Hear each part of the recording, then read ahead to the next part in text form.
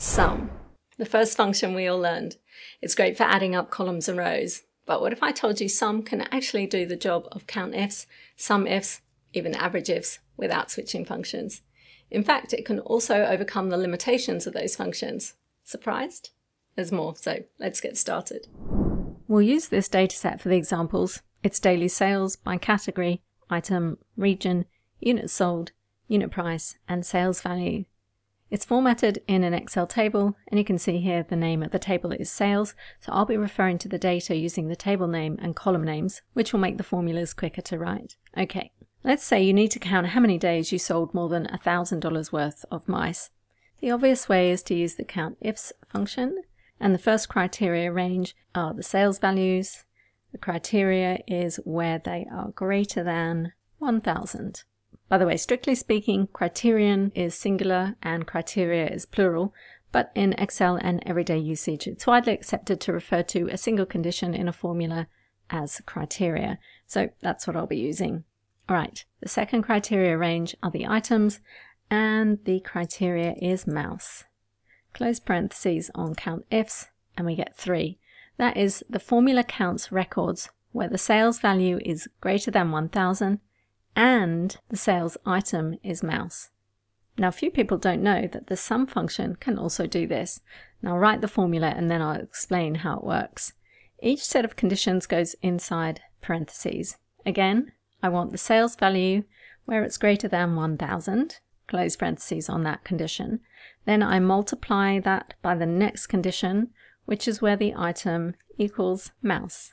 Close double quotes, close parentheses on my second condition. So what we have here are two logical tests, one for each condition. Close parentheses on sum, and we get the same result, 3. So how does it work? Well, if I select the first logical test, you can see it returns an array of true and false values, one for each cell in the sales value column. True is returned where the sales values are greater than 1000. And then the second logical test does the same for the item column, returning true where the cell contains mouse. Now the sum function can't add up these true and false values, but they have a numeric equivalent of 1 for true and 0 for false, and we can coerce them into their numeric equivalents by performing a math operation on them, and that's where multiply comes in. To illustrate what's happening under the hood, I've placed the two logical tests in separate columns beside the data. Here you can see the true and false results, and when they're multiplied by one another, we get zeros and ones because false times false is the same as 0 times 0, which equals 0. True times true is the same as 1 times 1, which equals 1. And true times false is the same as 1 times 0, which equals 0. And then the sum formula simply adds them up. So it's only where both conditions are true that the record is included in the count. In other words, the conditions are treated as AND criteria. That is, in this example, where the sales value is greater than 1000 and where the item is mouse. What if we wanted to count the rows where there are sales for mice or keyboards? If we try that with countifs. So where the item is keyboard or the item is mouse. Close parentheses and we get zero because countifs can't handle OR criteria, but sum can. Again, for sum we wrap each condition in parentheses. First one is where the item equals mouse, close parentheses, and instead of multiplying the conditions, we add them together.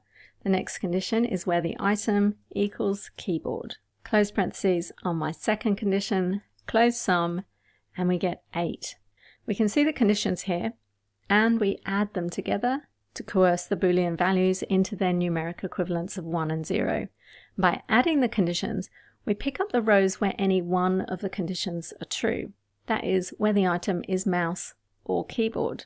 And that's fine where the conditions apply to the same column as we have in this formula referring to the item column. But if the conditions apply to different columns, there's a risk of double counting. For example, let's say we want to count the rows where the item equals mouse plus for or, or the sales value is greater than 1000 close parentheses on my second condition, close sum, and we get 26. Let's look at what's happening under the hood. You can see on row 24, both conditions were met, and true plus true equals 2. This means we're double counting this row. To avoid double counting, we can wrap the conditions in the sign function. So we just pop that in the front, add a parentheses around the two conditions. And what sign does is converts any positive number to 1, any negative number to minus 1, and 0 remains as 0. So if we evaluate sign, you can see we're left with 1s and 0s. So there's no risk of double counting. And now we get the correct count of 23. So remember, always wrap OR conditions in the sign function to avoid double counting. That wraps up conditional counting, which overcomes the limitation of countifs, treating the conditions as AND criteria. Similarly, we can do the same for SUMIFs, which also treats all conditions as AND criteria. For example, here we can see this SUMIFs is summing the sales values where the category is toys and the region is east. And we can do the same with the sum function, multiplying the sales values by the two conditions. But what if we want to sum the sales values for the east region where the category is toys or clothing? Let's take a look. We want to sum the sales values and then we multiply that by our conditions. The first condition is where the region equals east, close parentheses on that condition, times. Now our next two conditions are OR criteria. And because they both apply to the category column, there's no risk of double counting, so I don't need the sign function here. But I do need to wrap both conditions in another set of parentheses. And the first condition is where the category equals toys, plus the next condition is where the category equals clothing. Close parentheses on my second OR condition, close it on both OR conditions and close sum, and we get 775117. Let's use the filters to check the results. So we want clothing and toys, and the region is east. Let's select the values, and you can see in the status bar the sum is 7751.17, so we can see it's calculating as expected. Next, let's look at conditional averages because these are a bit different. Here I'm averaging the sales values for t-shirts and it's super easy with average ifs. To be clear, it's taking the sales values not the average unit price for t-shirts. With sum, it's not as straightforward because first we have to sum the sales values for t-shirts. That's the first part of sum. Then to get the average, we need to divide it by the count of rows containing t-shirts. And because this returns an array of Boolean true and false values, we need to coerce them into their numeric equivalents of ones and zeros which we do with the double unary, which is simply two minus signs. And when they're evaluated together, we get our array of ones and zeros, which sum can then add up. And together we get the same result as average ifs.